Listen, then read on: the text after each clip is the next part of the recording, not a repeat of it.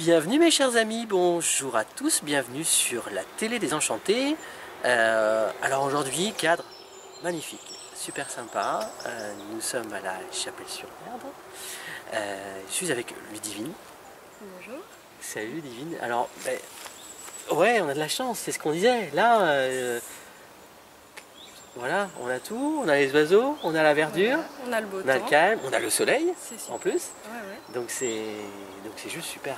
Donc, merci vraiment de m'accueillir euh, dans cet endroit. Ouais, bah, merci à toi Euh. de venir du coup. On va parler de recyclage, on va parler de créativité.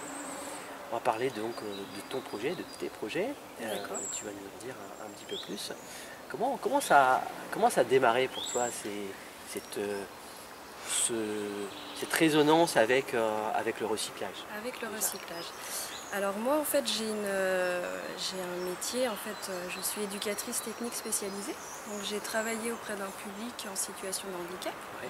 donc déficient intellectuel où j'animais en fait des ateliers techniques Alors c'est quoi des ateliers techniques? Alors des ateliers techniques. Donc c'est un atelier en fait où on va travailler sur, sur les compétences, euh, le savoir-faire et euh, tout ce qui est en fait la, la mise au travail, en situation de travail. Euh, et du coup par rapport en fait à cet atelier, donc l'idée c'était vraiment de travailler sur, euh, sur ces compétences techniques et d'apporter voilà, des, des supports on va dire de fabrication pour euh, vraiment valoriser la personne par rapport aux capacités à faire.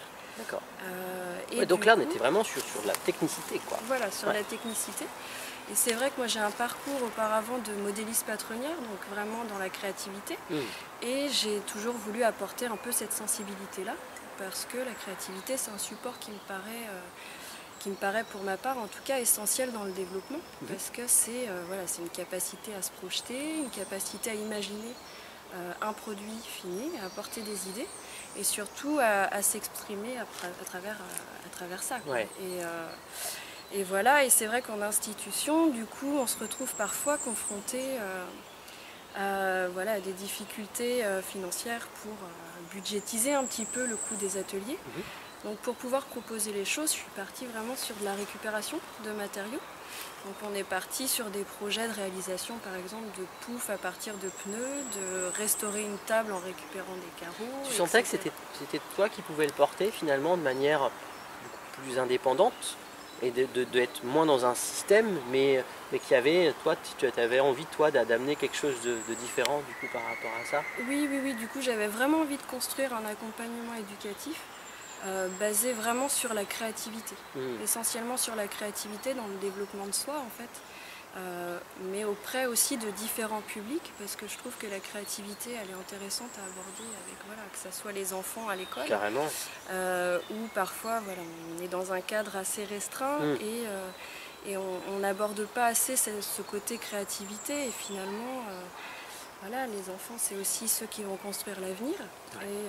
et, et la créativité pour, Carrément. pour se projeter ou se positionner c'est important. Ça apprend à, voilà, à faire des choix, à proposer des idées. Et puis il y a cette dimension aussi du collectif en fait dans le, dans le projet qui est intéressant, de, euh, voilà, de pouvoir construire les choses ensemble, d'apporter des idées, mais à un moment donné aussi de savoir faire des compromis, de lâcher prise un petit peu sur des, des propositions. Euh, et puis voilà, faire un consensus on va dire pour euh, Ouais. proposer Comment ça se passe tes journées. Comment ça se passe tes journées, toi Alors mes journées, donc euh, chaque jour est différent, Bah on oui. va dire. Euh, donc là, moi, l'activité a démarré concrètement au mois de janvier. Uh-huh. Donc euh, je suis encore aussi dans une étape en fait de, de construire mon réseau, hein, de Mhm. rencontrer et puis d'avoir d'avoir voilà des, des, des- comment, des prestations aussi au sein des structures. Euh, donc là, le projet, c'est d'abord une étape de communication, et puis il y a tout ce qui est aussi élaboration en fait, du- voilà, du- des projets en fonction de ce qui commence à, à arriver un petit peu, donc, euh, que ce soit auprès des, des centres socioculturels, euh, auprès des services jeunesse. Et puis, C'est un public qui te parle, ça, du coup? C'est un public La jeunesse, le handicap, tout ça oui, oui, Ouais. oui, oui, oui. Euh, du coup, c'est un public qui me parle déjà, enfin, par rapport au handicap, c'est vraiment le public que je, je- je connais le mieux, hein, auprès de qui j'ai- travaillé, même s'il y, a- il y a toujours à apprendre hein, auprès de chaque personne. Mm. Euh, mais je trouve en fait qu'autour de la créativité, il y a plein plein de choses, parce qu'il y a parfois cette difficulté euh, à, voilà, quand on construit par exemple une réalisation ou une œuvre, c'est de se dire comment va être le produit une fois terminé. Et on n'a pas tous cette capacité d'abstraction en fait, de, savoir imaginer vraiment le produit qui finit. Donc il faut euh, voilà, préparer et un est-ce que le produit est fini Est-ce qu'il est jamais presque fini quoi On pourrait toujours euh, voilà, rajouter il peut toujours être, euh, être, amélioré ou avoir des petites parties de finition, mais l'objectif c'est vraiment d'être dans cette démarche et puis de, construire aussi sur avec les personnes les, étapes en fait, comment on fait pour arriver, euh, pour aboutir finalement à une production euh, finale. Carrément. Donc voilà, d'apprendre aussi à séquencer un petit peu les choses et puis, euh, puis ça permet de toucher à différents matériaux parce que finalement l'atelier va, permettre de travailler sur des supports bois, va permettre de travailler sur, sur du plastique, sur la récupération de déchets. Donc il faut se poser la question hmm. de comment on assemble les choses. Alors tu me montrais, tu montrais en, off juste avant d'appuyer sur le bouton, cette partie finalement euh, dessin, euh, la, préparation finalement sur feuille quoi. Oui, oui, Ce que ça donne quoi. C'est un, une vraie recherche quoi. Voilà, donc c'est vrai que c'est un travail qui demande à la fois un temps en fait de, bah, de préparation sur euh, la technicité, parce que l'objectif, moi j'aime bien préparer les choses en amont, même si l'idée c'est vraiment, comment dire, que, les personnes puissent d'elles-mêmes réfléchir aux étapes. Mais j'aime bien en fait euh, commencer à préparer les choses en me disant voilà, il y a, déjà une technicité qui est préparée. Mm pour ne pas mettre aussi les personnes en situation d'échec si jamais il n'y a pas de proposition ou si on ne sait pas comment assembler. Mais toute proposition est bonne à prendre et au contraire, quand les choses viennent vraiment de la personne, c'est ce qui, qui est le plus intéressant. Parce que la démarche, elle est là. Hein. Mmh. C'est pas de tout proposer, c'est que les choses se construisent euh, avec, euh, avec le groupe, avec chacun. C'est génial ça. Et qu'est-ce que. Qu'est-ce que. Alors, même si l'aventure démarre, mais qu'est-ce qui te fait toi euh, vibrer dans ce quotidien, dans cette belle aventure qui démarre justement Dans cette belle aventure. Au-delà d'être dans un magnifique endroit et d'écouter les jolis bruits de la forêt tous les jours.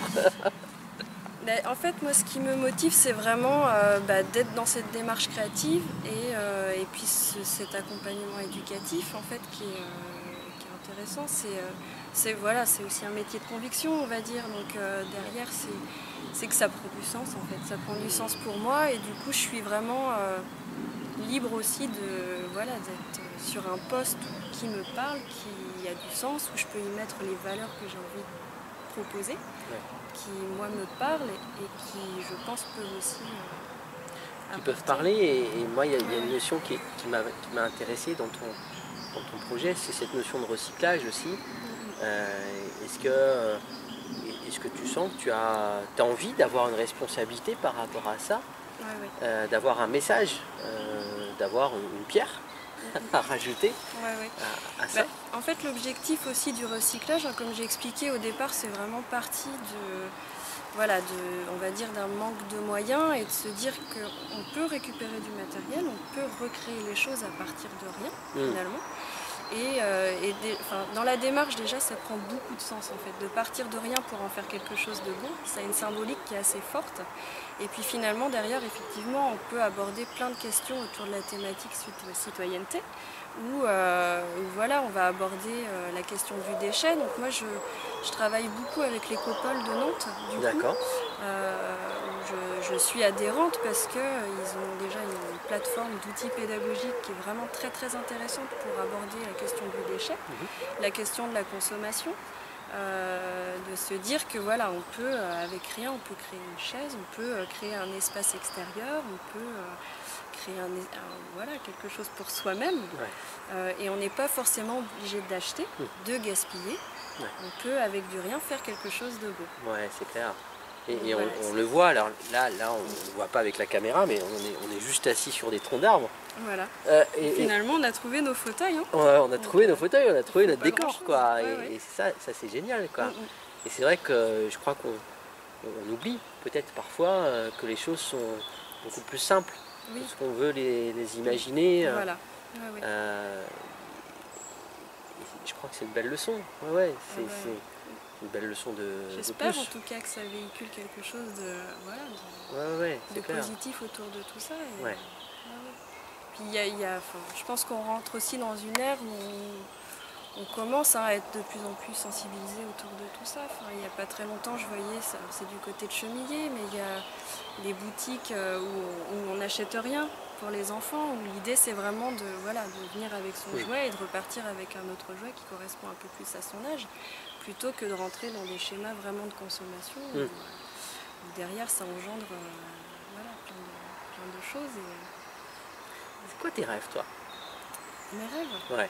oula, J'imagine que tu en as des tonnes. des rêves, euh, bah oui, déjà d'être euh, d'être bien dans son élément Ouais. et, euh, et de pouvoir faire les choses avec épanouissement aussi. Mm. Donc c'est vrai que voilà, professionnellement en tout cas, du coup d'être euh, en phase avec euh, bah, ce qui nous fait plaisir et puis. Euh, Là, par exemple, si tu devais euh, fermer les yeux et te dire, ben, dans 5 ans, dans, dans 10 ans, où est-ce que tu, tu- tu la vois, ton activité Comment toi, tu te vois par rapport à tout ça, par rapport les éléments, la nature, etc. Co- co- Comment toi, tu sens les choses par rapport à ça Et, est-ce que tu les sens? Parce que c'est difficile de, de, se, de se projeter comme ça en avant, quoi. Ouais, sur une projection à long terme, après moi si j'avais un rêve par rapport à tout ça, ce serait qu'il y ait une vraie... voilà, qu'il y, ait- qu'il y ait du monde autour et puis qu'on puisse... euh, Tu te vois avec du monde. Ouais, oui, Ouais. oui, oui, parce que c'est vrai que c'est un projet qui, qui, je pense, est ambitieux. Euh, seul, c'est bien, hein, mais c'est compliqué et puis on a tous à sa portée. Mhm. Et, euh, et finalement, bah, voilà, on a aussi ses limites. hein. Euh, C'est vrai que c'est une charge de travail qui est assez importante et, et d'avoir un regard extérieur, de pouvoir Mhm. croiser les regards sur, voilà, soit sur des sur la conception des choses ou sur, euh, sur l'accompagnement, qu'est-ce Ouais. qu'on peut apporter de plus à la personne Ouais. quand, euh, quand on est plusieurs, donc c'est Ouais, intéressant. génial. Donc voilà, donc pour l'instant, c'est, on va dire que je suis plutôt en activité, je suis avec l'ouvre-boîte 44, du coup, de Nantes, en portage salarial. Donc je suis vraiment en étape d'expérimentation en, et de... en transition, finalement. Voilà, en transition, exactement. Préparation, tout ça. euh, en préparation de tout ça. Et, euh, et l'idée, moi je m'étais énormément posé la question sur le statut associatif. Donc euh, il y, a, voilà, il y a tout ça. Et effectivement, quand on monte une association, il faut être plusieurs. Donc euh, il faut pouvoir euh, Ouais. rallier des personnes aussi avec euh, voilà, ces Mm. valeurs et puis euh, qu'elles soient partagées. Euh, qu'on trouve euh, un projet Génial. commun. J'ai envie de te laisser le mot de la fin. Euh, qu'est-ce que qu'est-ce que tu aimerais que les gens retiennent de, de toi? Quelque part euh, Là, on imagine les gens vont voir cette vidéo. Ouais. Qu'est-ce que en deux trois mots, euh, même si c'est toujours compliqué parce que c'est hyper hyper réducteur quoi.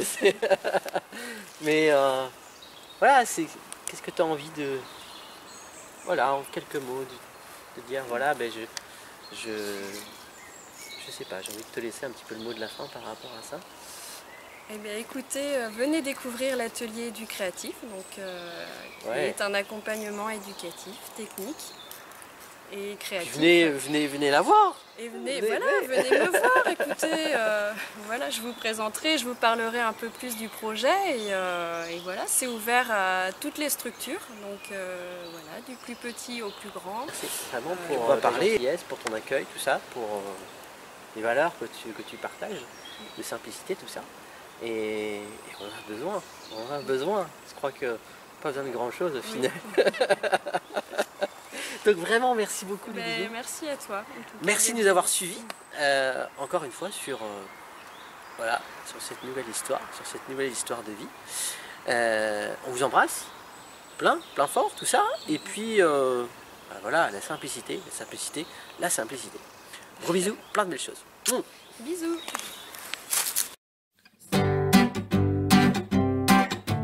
C'est la télé désenchantée. Ceux qui œuvrent à un monde meilleur, c'est la télé désenchantée. Pour ceux qui aiment partager, c'est la télé désenchantée. Pour ceux qui veulent trouver le bonheur, c'est la télé désenchantée. Toi aussi tu peux la partager.